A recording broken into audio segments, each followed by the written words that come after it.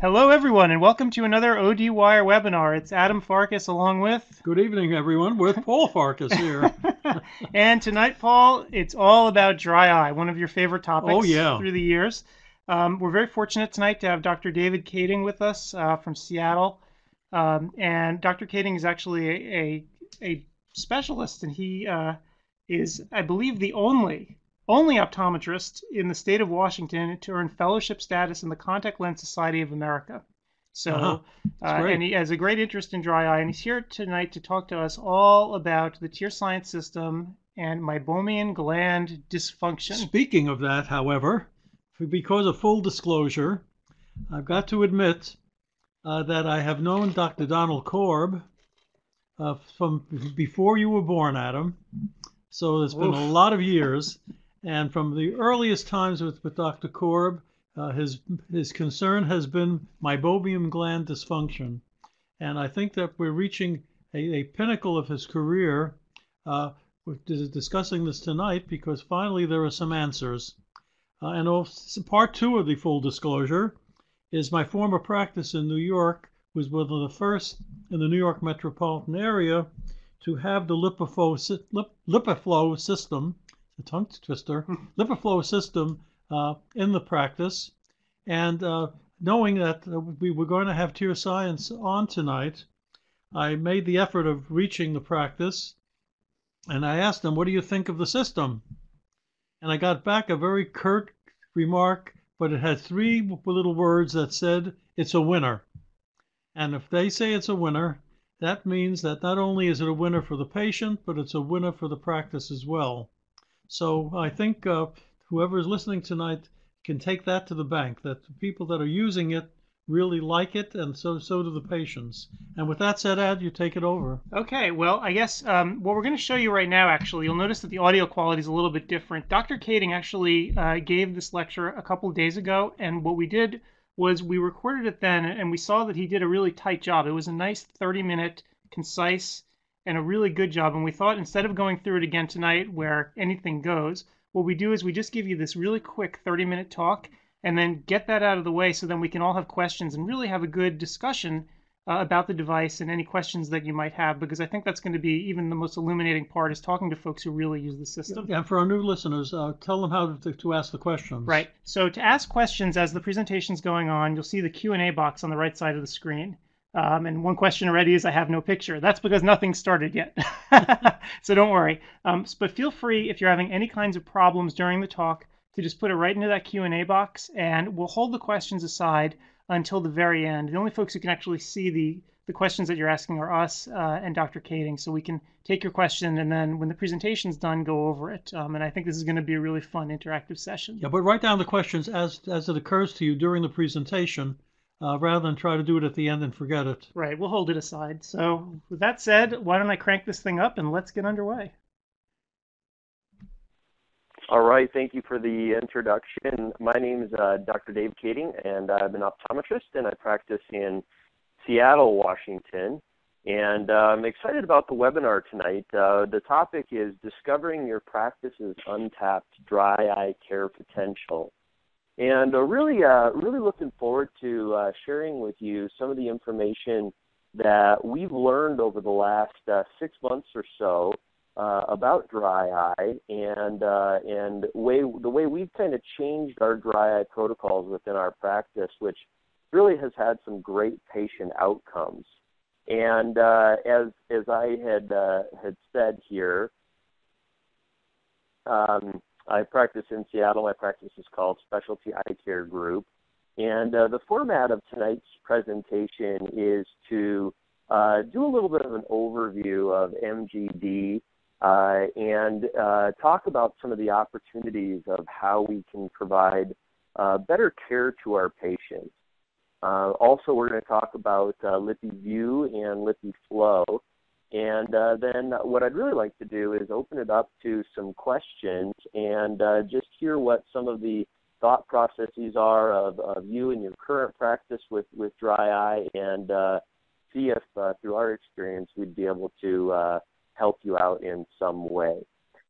So let's break it off first of all with an MGD overview. You know, in the last couple of years, we've really come into some great insight and knowledge about meibomian gland dysfunction and uh, what it really means for our patients and our practices.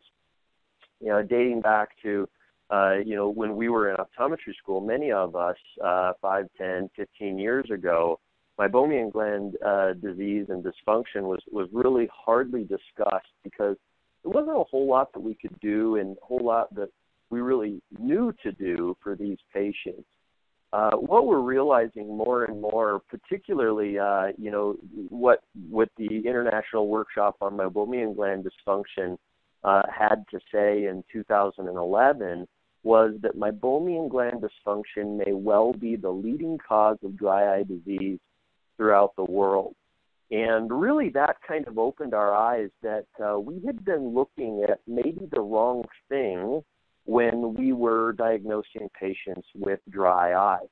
Uh, in fact, Lemp, in a study uh, that was done in two, published in 2012, uh, revealed that uh, around 86% of our patients have meibomian gland dysfunction as a as a cause for their dry eye. You can see here of the 159 patients in this study, only 23 of them were aqueous deficient alone, making up 14%, whereas the vast majority had meibomian gland dysfunction as the primary cause, and a large percentage of patients had meibomian gland dysfunction and aqueous deficiency, making up a total of 86% of uh, of the patients in this study. And since we have really started looking at dry eye in a new way, we've really started to identify that what we thought was the cause of dry eye before, and particularly before we started looking at the meibomian glands,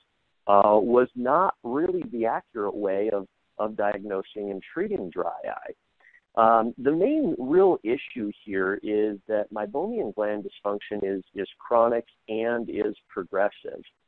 And the concern here is that if it's untreated, it can lead to atrophy and ultimately uh, drop out of the glands, where uh, the glands are just entirely gone. And I, I have, have started in the last six months or so to start talking about meibomian glands in the same way that we think about the optic nerve in glaucoma.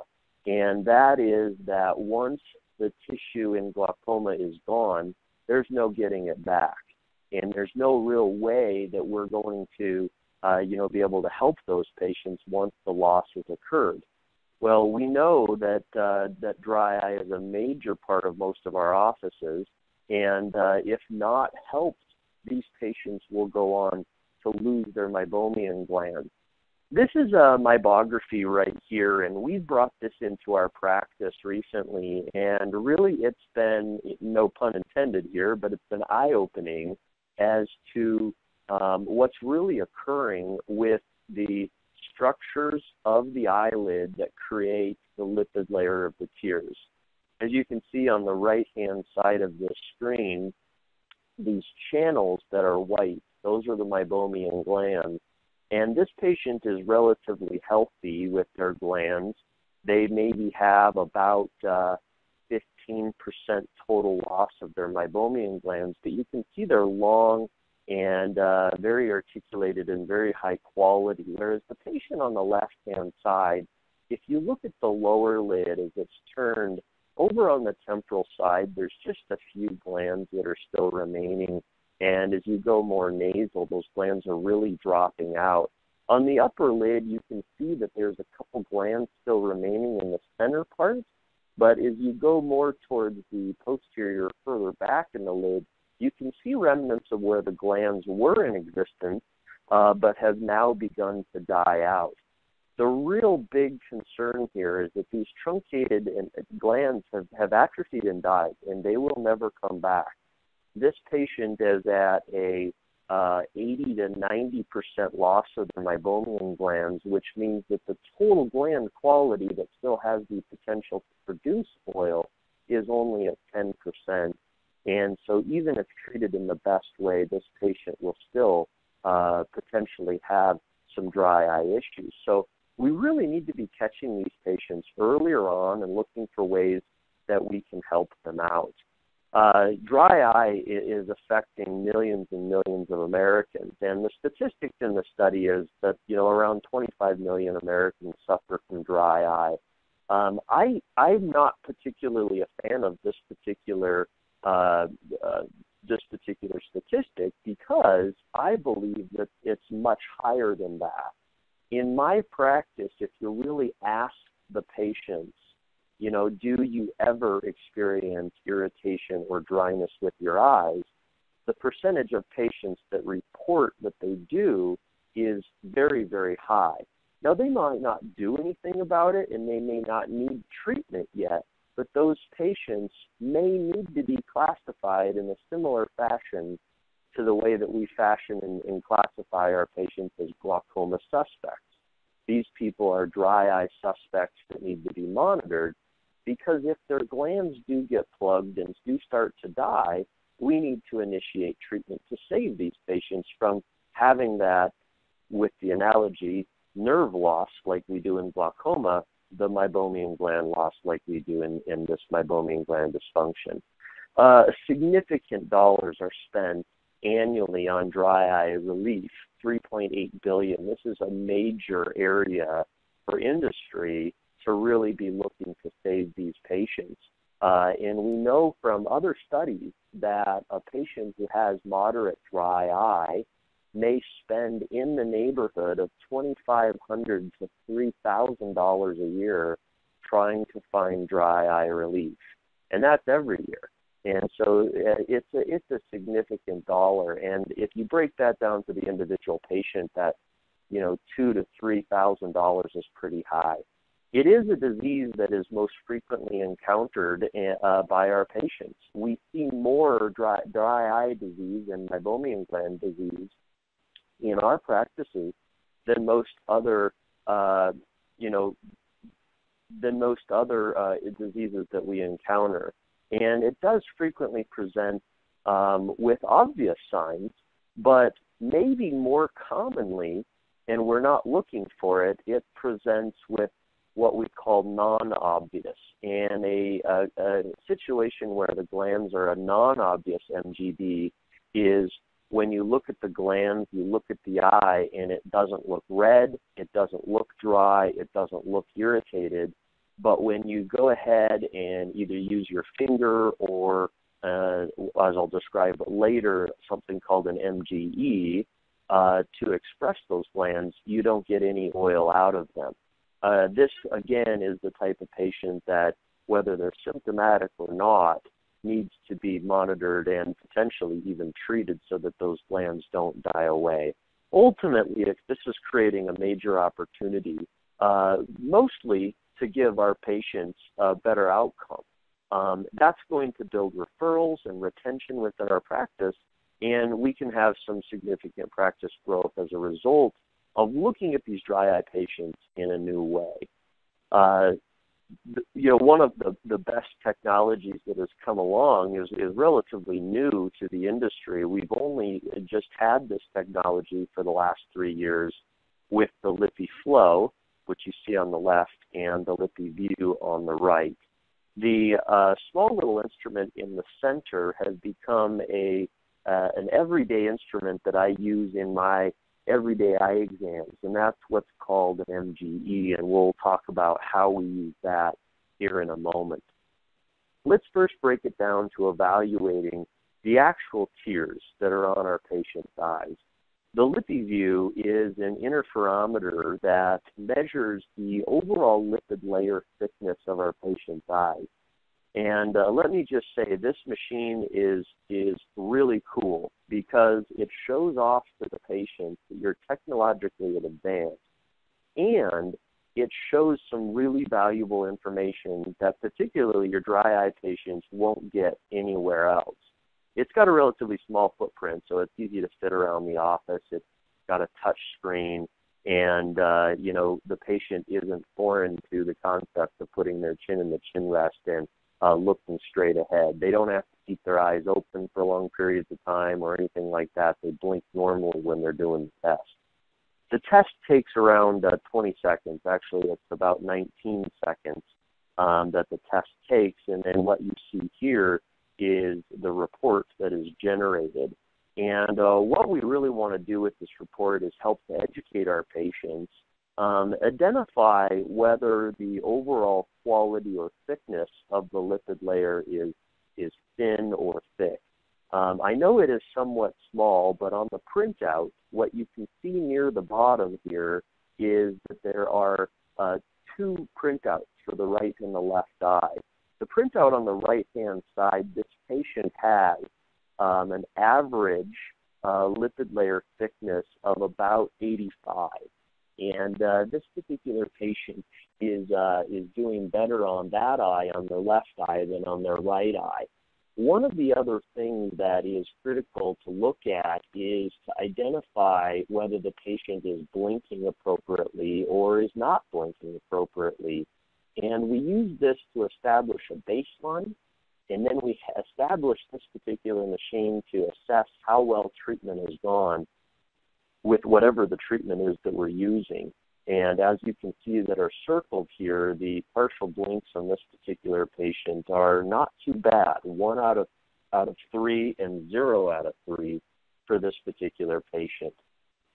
The other aspect that we like to look at is not only what is the overall amount of thickness of lipid on the surface of the eye, but what are the glands actually doing for us? And that's where we use this instrument called the Meibomian Gland Evaluator or the MGE. This uh, little instrument was uh, was produced uh, by Don Korb and what it does is it presents a very, very gentle pressure onto the surface of the eye. And, uh, you know, I've been pushing on glands for the last 10 years. I kind of consider it our right as optometrists to be able to poke our patients in the eye. And uh, here we've actually got something that is standardized. When we're pushing, pushing and pu- uh, putting pressure on the eyelid, we're probably exerting pounds uh, of pressure upon the eyelid to try to get those oils to flow. And if the oil flows or doesn't flow, what does that tell you about the eyelid? It does. It doesn't have any consistency um, to really give you an accurate number or uh, identify anything about those oils. What the MGD does, uh, MGE does, is it presents uh, about one gram of pressure per square millimeter. And the reason that that is important is that is nearly equivalent to the amount of pressure that the eyelid presents upon itself as it is blinking. And what it, what we can then see is we can evaluate the amount of secretion that is coming from the gland orifice when we express the glands from this. The way we do this is we start off temporally and we we look at about five glands. We express and push in with the MGE, and we count the number of glands that are expressing. We then look at the quality of the oil that is coming out, and from those two numbers, we can calculate an overall uh, oil and gland score for the patient um, for the total eyelid. That gives us a good number to be able to use as a baseline to know whether this patient's oils are flowing or whether they're not flowing. And then with the treatments that we have, we look for those numbers to improve over time. The, uh, the big concept that we're looking at is if these patients who are working on their computers for 6, 8, 12, 14 hours a day and then they go home and what do they do? They get back on their computer, they get back on their cell phone, their iPad, and whatnot when we're looking looking at a computer device or a electronic device, we we just basically fail to blink as often.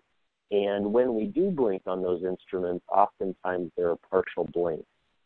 Korb has identified and has worked with other scientists to kind of reveal that when a gland is not expressed through the normal blink, those glands will become plugged and we've shown and talked about already that when a gland becomes plugged, it ends up dying. So, out of all of that information, we've come to realize that there needs to be a way that we can get those glands opened up. And for years, dating back, you know, all, all, way, all the way back to when my grandfather was an optometrist, the treatment was to attempt to get our patients to get heat on their eyes for a significant period of time. Well, fact of the matter is, our patients just aren't compliant with that. If you have patients who are compliant with hot compresses on a continual basis, good on you. It's just a difficult thing to get them continually doing that. And what we realized is their compliance will drop off significantly after a week or maybe two weeks after they come into the eye exam. The other problem is, unless those patients exert a significant amount of pressure on their eye, which could have some long term damage to the corneal tissue, which has been heated up, those patients could have some issues. So, out of all of those concerns, out of the fact that our patients are not compliant, uh, the Lippy Flow thermal pulsating system was created. And what this does is it presents a safe and effective treatment to help uh, the upper and lower eyelids to uh, express those plugged meibomian glands. And it only takes about 12 minutes in the office. And it's a very simple, comfortable, painless procedures that our patients go through. The disposable activator looks like what you see right here. And uh, the, what's closest to us in the picture is what looks like a large uh, scleral contact lens. And the uh, part that goes right against the cornea and the globe uh, basically is just a shell. The uh, the front part of that that goes against the eyelid heats up to around 40 to 45 degrees Celsius, which you know is just over 100 degrees, uh, 105 degrees, which is a very comfortable uh, temperature. The the patients that have the procedure are very comfortable. They don't uh, And then there is also a, uh, a composition of uh, air bladders that um, inflate over the and, and deflate to express the oil out after the, the glands have been heated up. And what we're basically doing is we're taking all of the glands that are plugged either because of the decreased quality or because the surface uh, glands get plugged. Um, and we're heating up that oil and then we're expressing it out. So now the patient is completed with the uh, procedure and uh, their glands are completely open. In fact, during the procedure, the patient uh, end up with a very rich oil uh, on the surface of their eye after the procedure. And you know, it does take just a little bit of time to have the meibomian glands recreate the oil, but now the glands are open so that the patient can be uh, more comfortable uh, ongoing. And when I say more comfortable, 90% of patients uh, had a total meibomian gland score improvement. And what that gland score improvement is with using the MGE when the glands are expressed, the quality and the number of glands go up significantly. And we've seen this in our office as well. We just did an overall assessment of the first group of patients that, that we had done that had come back for their follow up after several months and showed a significant improvement in the gland score. And also, not only is the gland score from an objective standpoint improving, uh, nearly 80% of patients reported an improvement in their overall dry eye symptoms. Now, we don't just ask the patients, do you feel better, but we go much further and much deeper into it and, uh, and ask them how they feel. What's the grittiness? What's the dryness? And what's the level of irritation that they have? And uh, nearly 80% of the patients reported an improvement in their overall dry eye symptoms. I challenge you to think of any other treatment that is out there that gives the subjective and objective improvements of the 90 and 80 percent uh, improvement overall, which is why this is a, a treatment that has really revolutionized things for our practice. And what it's done is it, uh, it's really given us some empowerment and leadership in the overall uh, communication that we have with our patients, um, and and overall in the community as well. Uh, in fact, just last evening, uh, we had a group of doctors into the office so that we could share with them on the treatments of dry eye, uh, could share with them how we are looking at dry eye in a new way. And I will say, for credibility's sake, we, we don't do LipiFlow on every single patient. It is a tool that we use for our dry eye patients, but it is a tool that we were uh, significant, significantly missing out on, excuse me, significantly missing out on prior to purchasing it. And really, it's brought out a whole new level of help and treatment for our patients. Um, it's also given us, uh, you know, there, has been some dedicated resources um, so that we can have a successful business with it.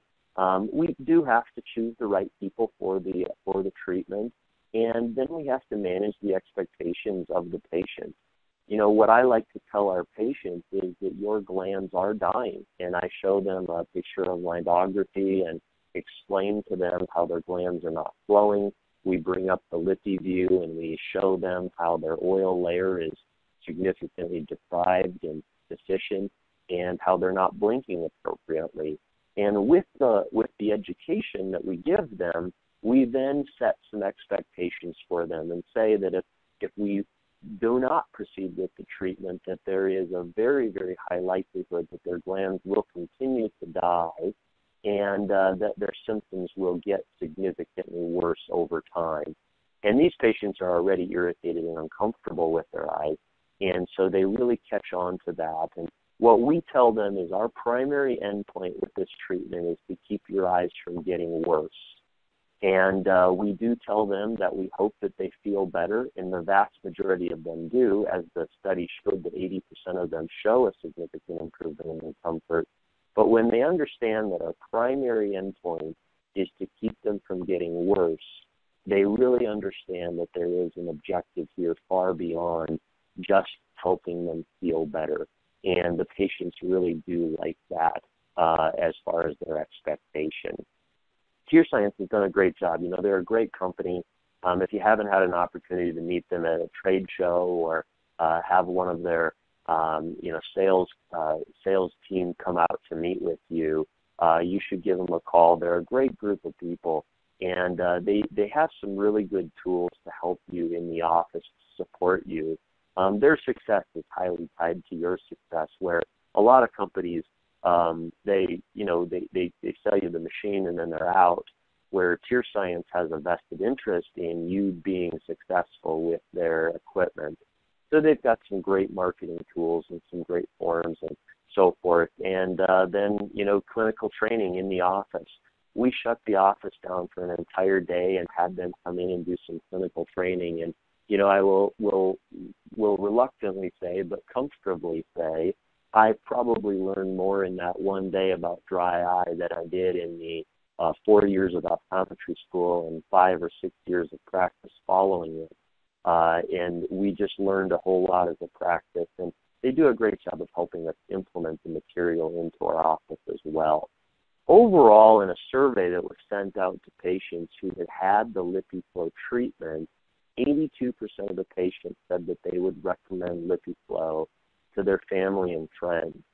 And uh, at that, um, at the marking of when the study was done, which was two months following, 15% said, yeah, it's you know it's still a little bit early to tell, but um, a, re- a recommendation of I would rec- recommend this to my family and friends is one of the highest recommendations that anybody can give you because it goes beyond just yeah I would do it again, but it goes on to say I would be so comfortable that this treatment worked for me as to say to my nearest friends and my nearest family that I would go on, go ahead and recommend it, bringing about great patient satisfaction, the patient retention, and ultimately, when we can go from a satisfied patient to an ecstatic patient, we really can increase the patient referrals for uh, for for what we can bring into the office.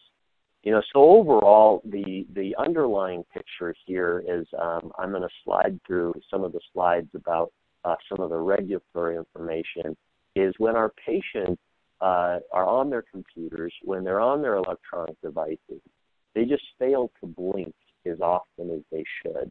and uh, you know nearly in the 50 to 75 percent less than they should be blinking. And we found in our office that oftentimes the blinking that they do that they do is is just bad blink and partial blinking.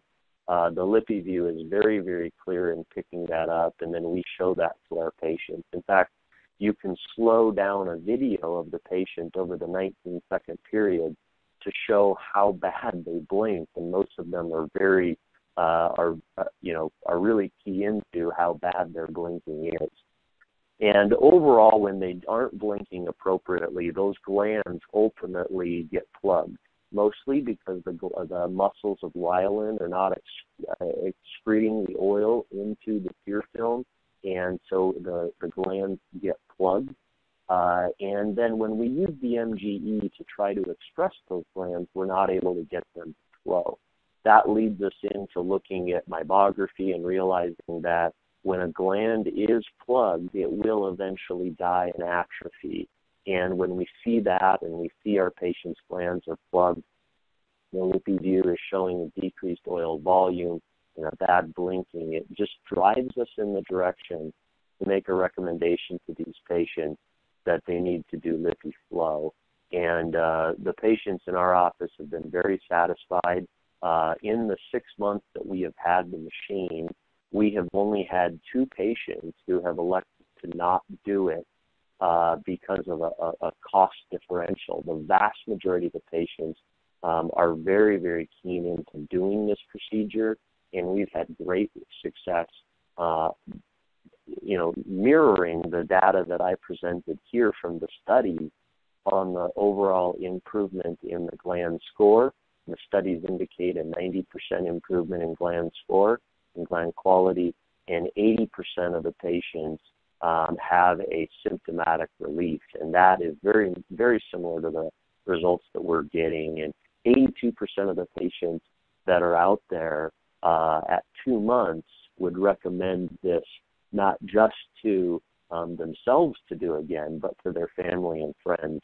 And overall, that is just the highest uh, form of um, a form of acceptance that we can have, and really drives uh, more referrals into our patient base.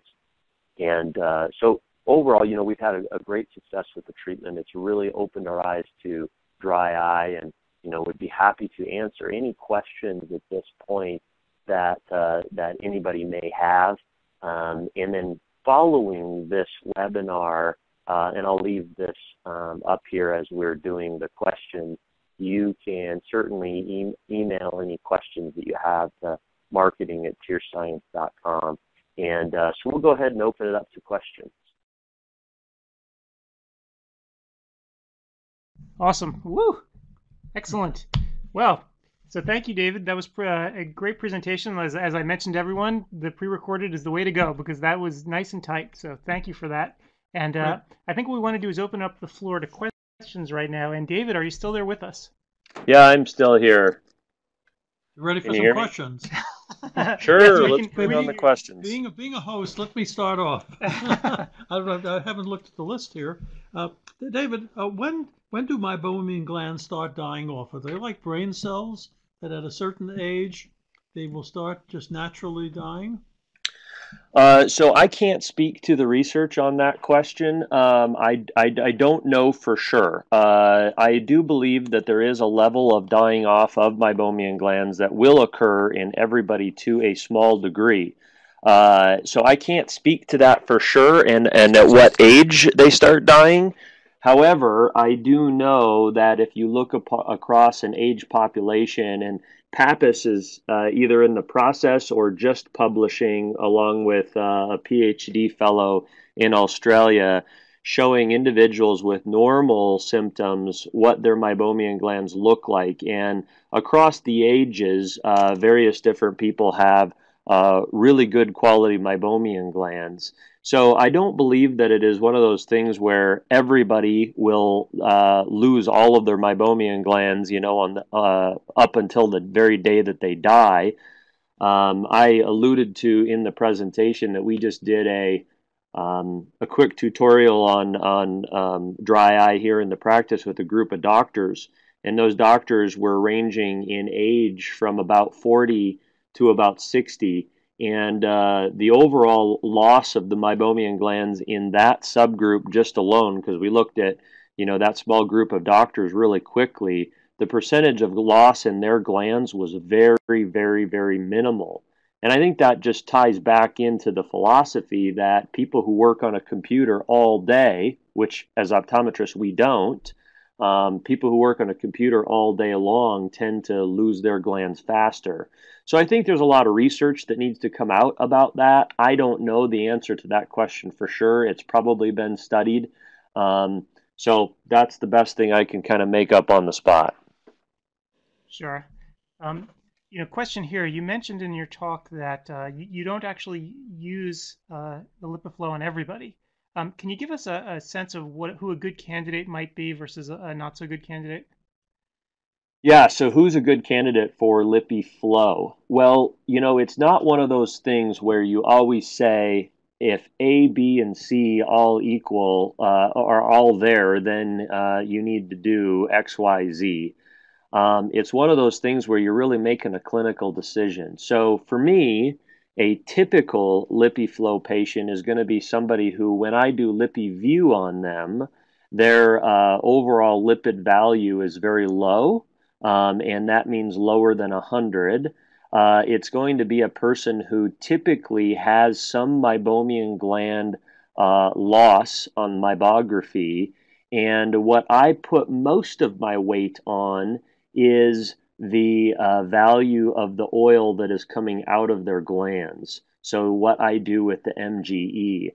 And I'm glad you're giving away an MGE tonight because I think that that tool should be in every single optometric office, whether you have a LipiFlow or not, uh, just as a general screener. If you're doing an MGE on a patient and you don't get any oil coming out of the glands, uh, not treating that patient it would be synonymous to having somebody who's losing their uh, losing you know their ability to see with glaucoma and doing nothing about it.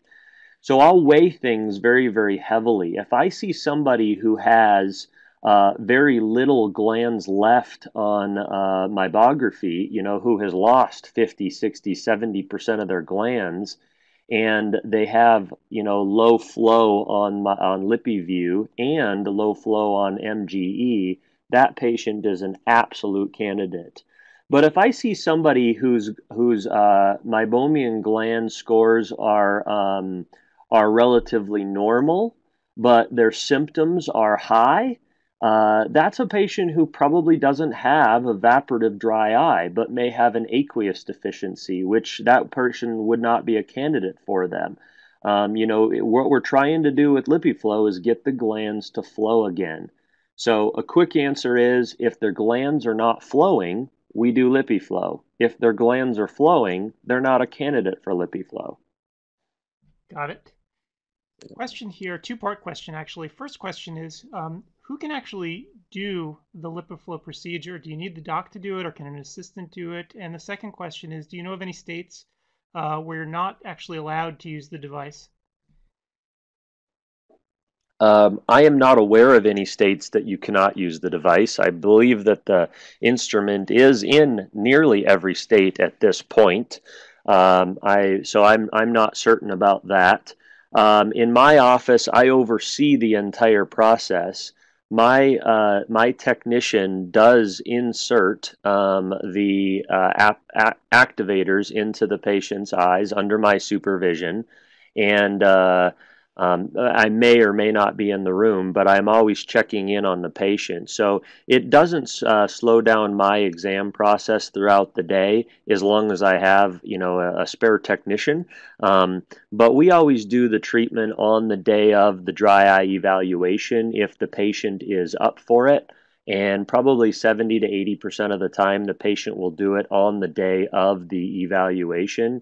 Uh, but we're not pushing people. We're not forcing people. We're not strong arming people or trying to use some sales gimmicks to get people to do the procedure.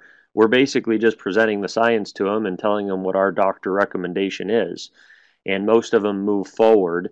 on the day of. So it has the potential to slow somebody down if they really don't schedule themselves appropriately. But in our office, it doesn't slow us down at all because we always have at least one person in the office who uh, can take a you know 15 minute break from whatever they're doing to help the patient out. And our uh, our technicians and our team is very good about getting the getting the um, activators in the patient's eye. There's only been a couple instances where they've needed me to come in to help with the process, but generally it's very simplified and very easy for even a technician to do. Great. Uh, question here Do you know if uh, the procedure is covered by any insurance companies? And if not, um, how much do you typically charge for a procedure? Yeah, so um, I, I can't speak to um, all insurance companies, but uh, from what I know, we can talk about Medicare. There is no Medicare allowable uh, reimbursement, and so that means that most insurance companies are uh, following suit, and there is uh, no coverage. Uh, we have not had any coverage for any of the uh, any any of our patients that have done it. 100% of them have cash paid out of the out, out of the gate, and uh, we uh, and we don't submit it to insurance. Um, I can't. I also cannot speak to what we charge for the procedure, um, just simply for you know rules and regulations of um, antitrust and so forth. Um, so I, I apologize. I'm not trying to be evasive in that. Uh, typically, people charge, um, you know, charge a fair amount for the procedure, and uh, you would probably want to speak to a TearScience sales uh, sales consultant who could give you a better idea of of what um, people may be charging on average in your region. So, I, Adam and, and Paul, I apologize I'm just not comfortable stating that, and it's regionally different uh, around the country as well. Just as a follow up to that question, how long does the treatment take? Yeah. How, how many good. visits? Yeah. Uh, so good, good question there, uh, Paul. Is the um, the procedure itself, where we put the activator into the patient's eye, takes 12 minutes, and uh, so um, a system that we have in our office is that we will see the patient for their comprehensive eye exam and if we detect something that is out of the ordinary, we will see them back for a dry eye evaluation, uh, much like you would see a patient back who is suspicious for glaucoma for a glaucoma evaluation. We inform the patient on that uh, visit uh, what we will be doing during their dry eye evaluation. And occasionally I will tell them there's a good chance we may need to move forward with LipiFlow depending on the outcomes of that finding, uh, of the finding of that visit. Uh, we'll then do the dry eye evaluation, which is where we do all of the assessments, um, including meibography, LipiView, um, MGE expression, and uh, several other tests, which we didn't talk about all tonight. Um, and then, if the patient elects to do the LipiFlow, we, uh, if they need it and they do it, we'll do that either that day or a following day and uh, then we'll typically see the patient back um, for an appointment about uh, four to six weeks later and uh, assess to see how they are doing. They may not get the full effect of uh, lippy, LipiFlow even at four weeks because there's still some neurotrophic potentially issues that need to be solved. Most of our patients do report a significant improvement in comfort by four weeks. Um, and then we'll maybe assess them at three or six months.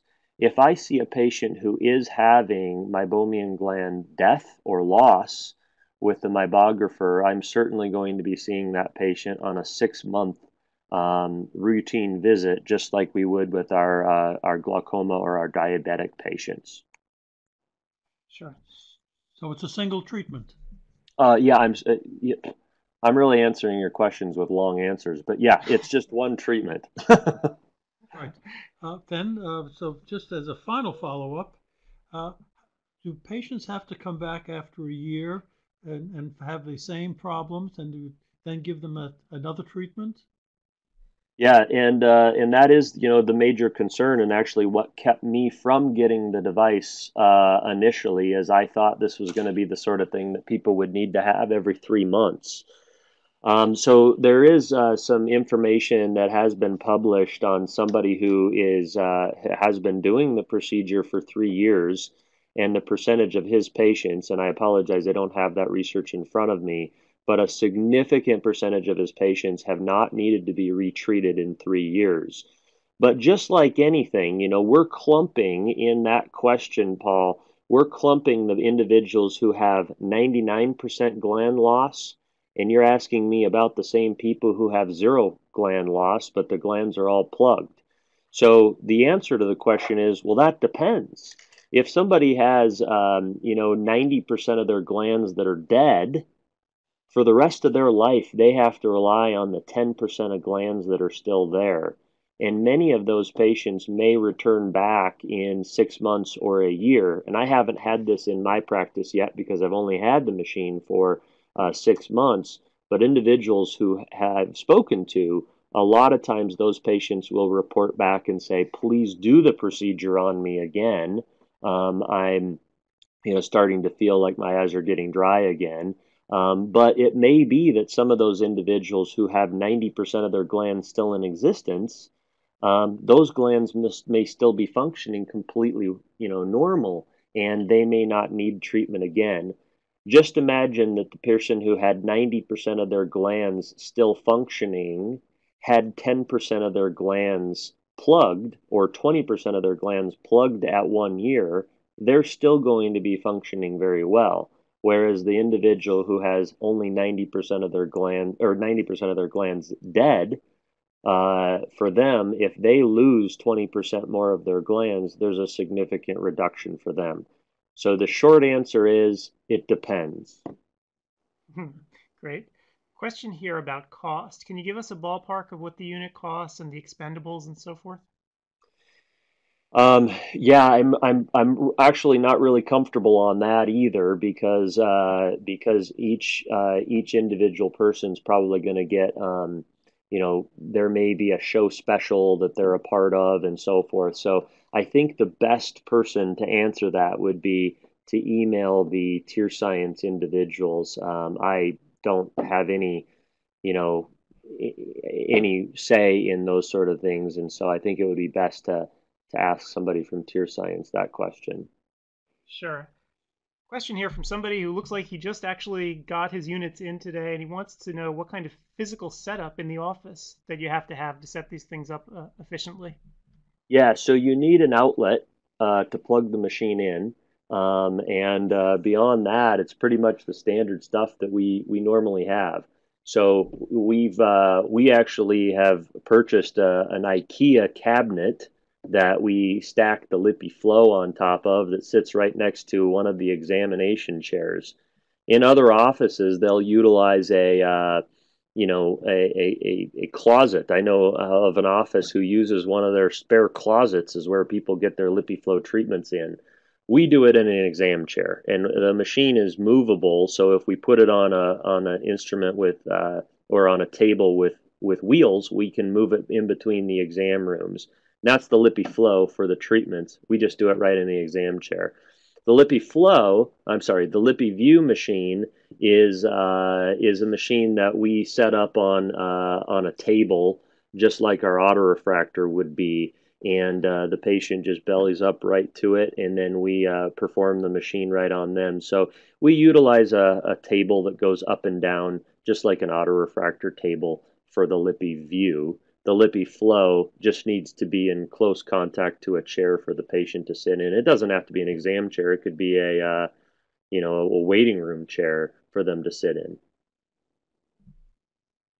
Right. Question here. Uh, in general, what other tests do you do for a dry eye workup in your office? Yeah, so the dry eye workup in our office typically goes like this. The patient comes into the office and we uh, do a speed questionnaire and a, uh, we personally do an OSDI. The speed questionnaire really is the one that we pay more attention to, but we do uh, like to have the information from the OSDI as well. we like to have a subjective symptom information from our patients rather than asking them, How do you feel today? So we do the uh, speed questionnaire. The patient then is taken back by one of the technicians and uh, it does the lippy LipiView instrument.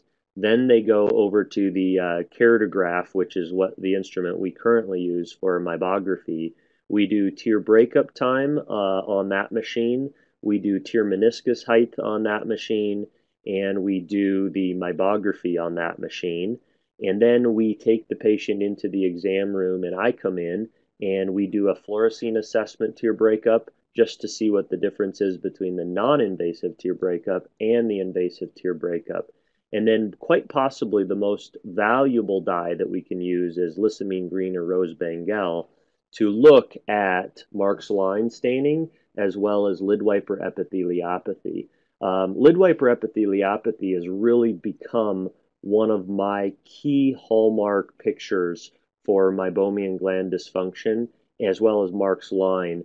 Um, and those two things have have really taught me a lot about dry eye and particularly um, uh, lipid deficient or evaporative dry eye. So we'll do those two assessments, and then we'll move on to uh, doing the MGE.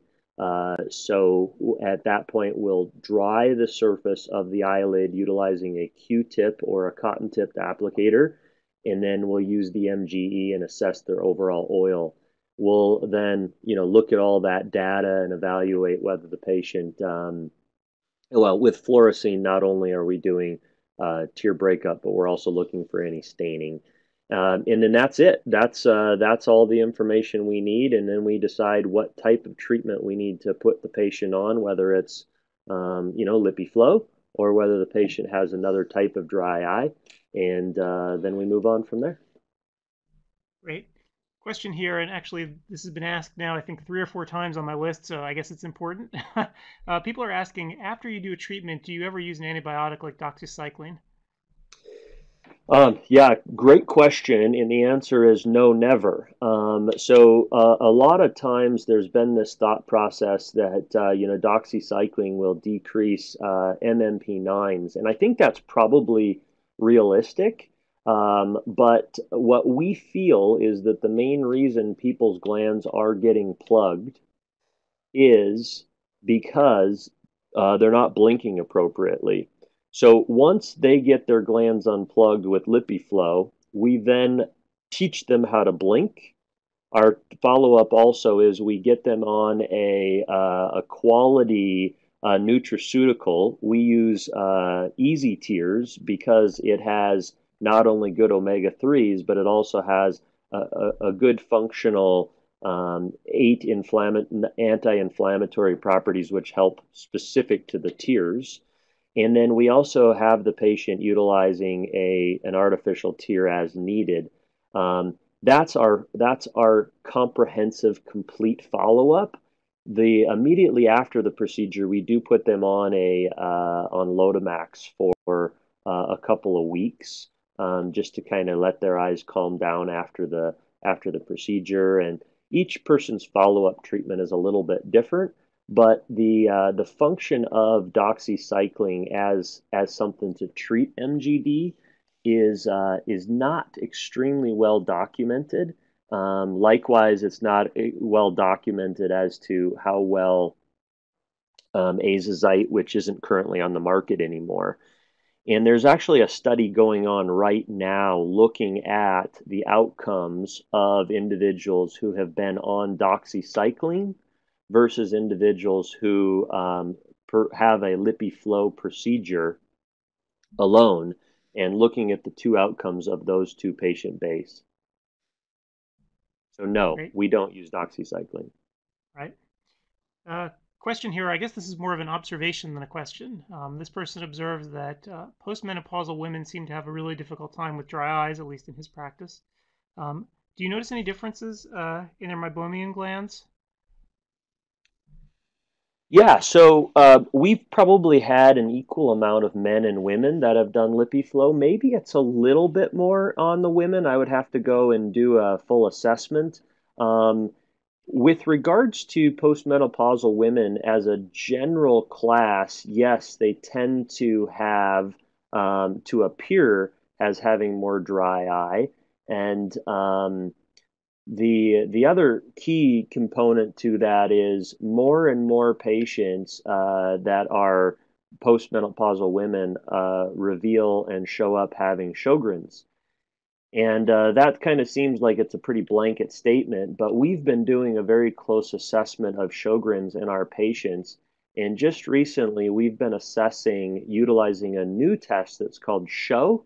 And what it does is it's a, a simple blood test that we can look at um, our patients to find out what percent, you know, how likely are they to really have Sjogren's. It's a new procedure, a new test from a company called Nicox.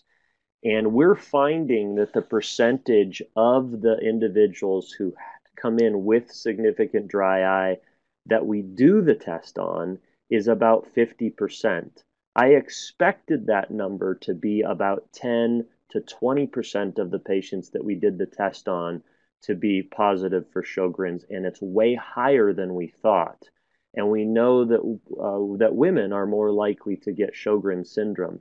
So I'm not entirely sure if, and, and the research is out there, but Sjogren's information is not well understood because it's just not been looked at and in a younger population. I'm kind of curious if the patients in your practice, as a general subset, have a higher incidence of Sjogren's that you and I would have missed in the past without these type of diagnostic procedures. So as far as their meibomian glands, I don't know that I would say that they look any different than somebody who, uh, who uh, than a male or a person who had dry eye with gland loss that was plugged that was younger.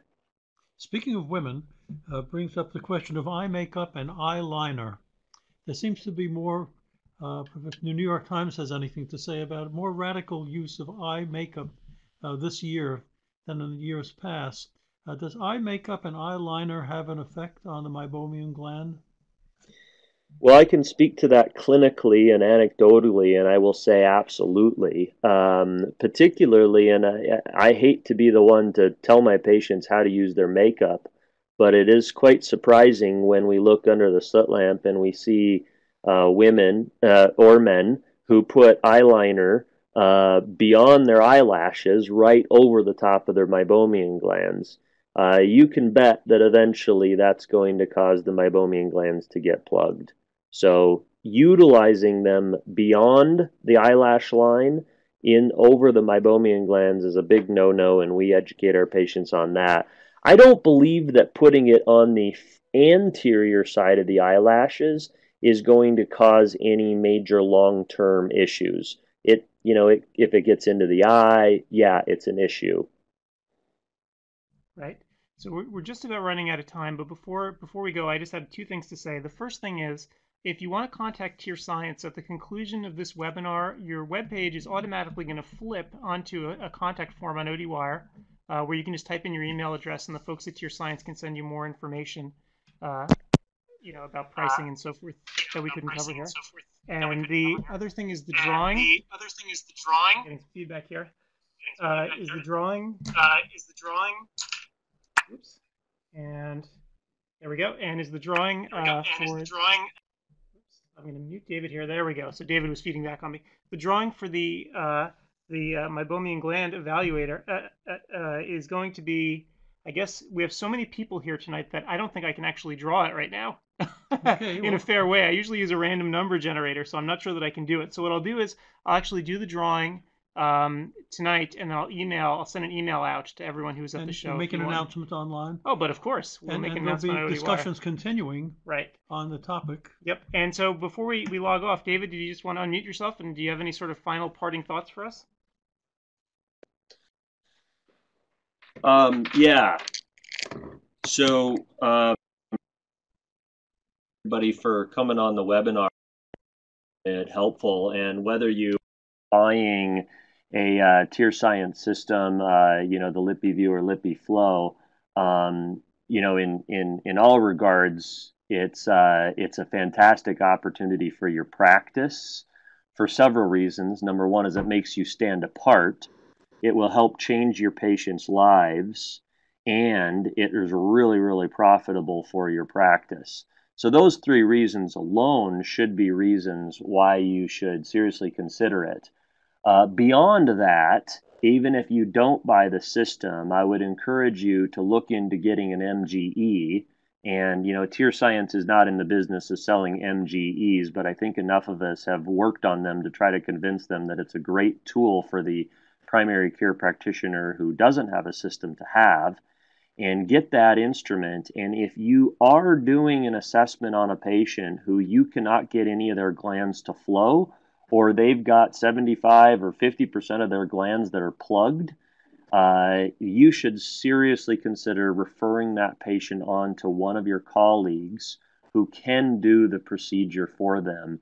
You know, synonymous to the early days of an OCT, and the early days of treating glaucoma is before we had therapeutics, we would never leave a patient with uh, CD ratios of five, six, or seven untreated. We would be very aggressive at helping those people. And I think that uh, that dry eye is the anterior segment glaucoma of the future. That we need to be looking very, very closely at it. And you know, TearScience is the first to market with producing a product that that really is not only helping the patient's symptoms, but is really helping the root cause of their dry eye. So that's why it's been helpful for us, and I think it's really the uh, the the treatment for the future of our dry eye patients. And I would encourage you to seriously consider it for yourself, or know somebody in your area that has the instrument that could uh, could treat your patients. And Adam and, and Paul, thank you so much for having me on. And uh, hopefully, this has been beneficial for your audience and uh, the uh, you know that is going to watch it later, and for the whole group that that watched it uh, this evening. Great. Well, David, thanks so much for being here, and thanks everyone for turning out tonight. And uh, in about 10 seconds, you're going to be flipped over to the information page uh, for TearScience. So good night, everyone. Good night.